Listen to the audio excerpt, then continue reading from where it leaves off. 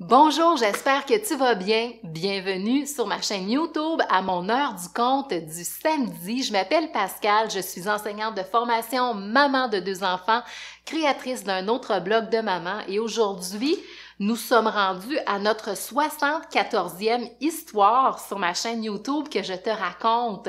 Bienvenue si tu es nouveau ou nouvelle. Tu te rappelles la semaine dernière, je t'ai raconté la première histoire de ce recueil, Licorne et Confetti de Eliane Champagne et Catherine Girard-Audet aux éditions Les Malins. Ben, j'ai eu envie de te raconter la deuxième histoire parce qu'il y en a huit. Alors, si tu as envie de toutes les découvrir, tu peux trouver ce livre en librairie ou à la bibliothèque près de chez toi. Alors aujourd'hui, hein, euh, comme vous avez beaucoup aimé la première histoire, je vais vous lire la deuxième. Alors, elle s'intitule Une nouvelle élève. Et là, ici, je me demande bien ce que c'est. On dirait que c'est comme la crinière d'une des licornes, mais je ne suis pas certaine. Peut-être que cette crinière-là, elle appartient à la nouvelle élève à l'école des licornes. C'est parti. C'est une journée très forte en émotions pour Joséphine. Elle et sa famille viennent tout juste de s'installer dans la ville de Saute-Licorne et c'est sa première journée dans sa nouvelle école. N'aie pas peur, lui dit sa maman, tandis que Joséphine trépigne d'une patte à l'autre d'un air anxieux. Ah, je suis certaine que tu vas charmer tout le monde et que tu te feras plein de copains, dit sa maman. Cela réconforte un peu Joséphine qui inspire profondément.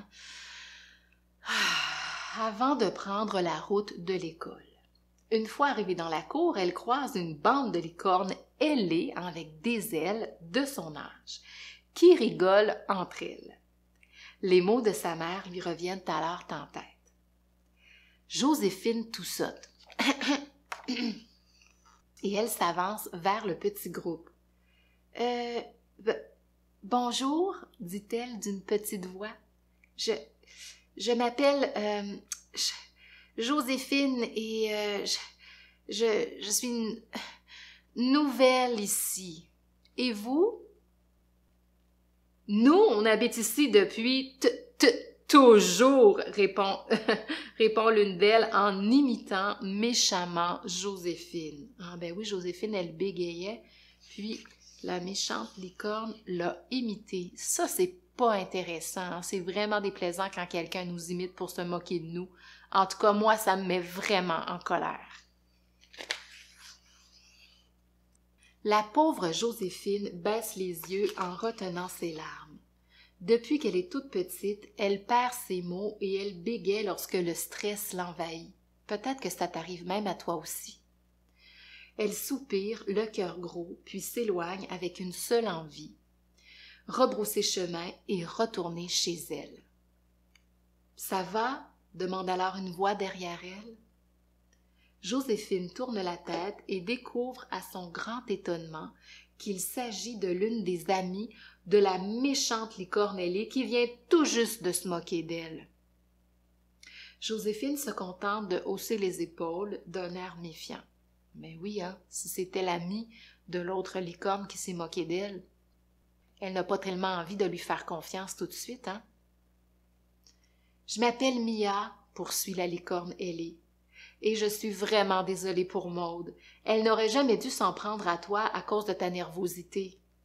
Moi, je suis arrivée à ici l'an dernier, et je sais à quel point c'est stressant de repartir à zéro, explique-t-elle. C'est vrai, fait Joséphine, soulagée d'apprendre que quelqu'un comprend ce qu'elle vit. Au début, j'avais peur de rester seule et de ne jamais me faire de nouveaux amis, mais j'ai vite compris qu'il y avait des tonnes de licornes prêtes à me tendre la patte. La rassure Mia en souriant. Merci. Tes bons mots me réconfortent beaucoup, répond Joséphine, le cœur plus léger.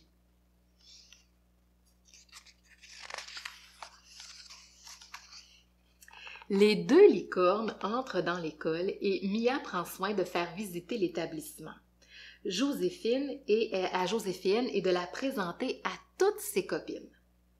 À la pause du midi, elle l'invite à se joindre à elle et toutes sont curieuses d'en apprendre davantage sur la nouvelle élève. Avant de retourner en classe, Maude s'adresse à son tour à Joséphine, l'air repentant. Ça, ça veut dire qu'elle regrette.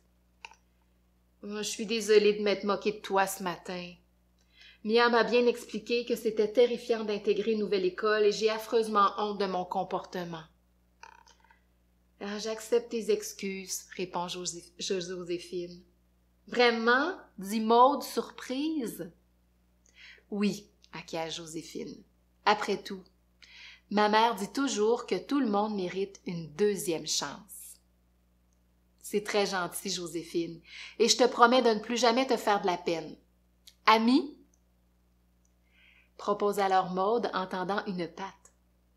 Ami, consent Joséphine en soulevant la sienne.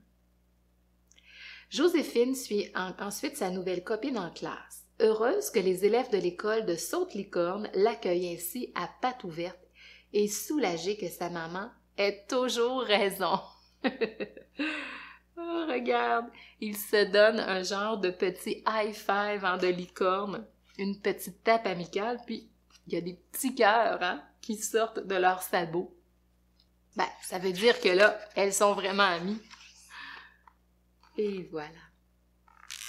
C'était la fin de ma deuxième histoire. Ça t'est peut-être déjà arrivé, ça, hein, d'être témoin de moqueries déplaisantes. Hein?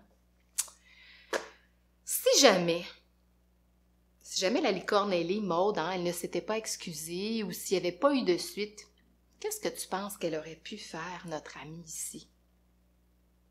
Oui, elle aurait pu aller voir un adulte hein, pour lui en parler, que ce soit son professeur ou peut-être même en parler à ses parents quand elle revient à la maison. C'est vraiment une histoire intéressante pour ça. Hein. Je vais m'adresser aux parents qui m'écoutent présentement pour euh, vous donner quelques pistes avec euh, Licorne et Confetti, la deuxième histoire. Évidemment, les albums jeunesse, ils nous servent finalement aussi à voir ce qui se passe dans le quotidien de notre enfant sans qu'on le sache vraiment. Parfois, la distance est assez grande avec une histoire comme celle-là pour que notre enfant s'ouvre sur quelque chose qu'il aurait vécu en classe, à la garderie ou euh, dont, dont il ne nous aurait pas encore parlé justement. Alors, c'est un excellent moyen, des fois, de choisir des livres qui correspondent à leur niveau, euh, où les personnages ont sensiblement le même âge, pour justement permettre, ouvrir une petite porte à la discussion euh, sur euh, finalement des situations, des émotions moins agréables à vivre, à ressentir et dont on a un petit peu plus de difficulté à discuter. Alors voilà, j'espère que vous avez apprécié. Je vous invite à vous abonner à ma chaîne YouTube, à aimer, partager et on se revoit samedi prochain.